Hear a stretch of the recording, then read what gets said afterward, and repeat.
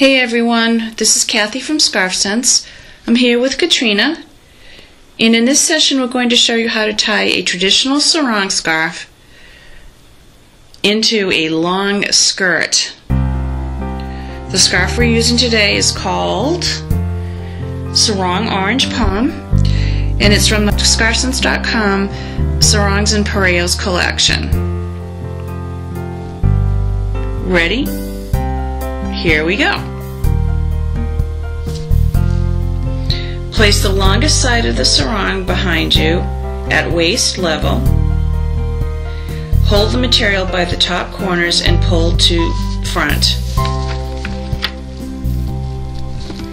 Bring to one side, tie corners into a double knot.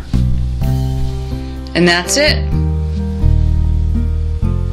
This is a cute orange palm sarong tied into a long skirt. And it could easily be used for beach, boat, or poolside.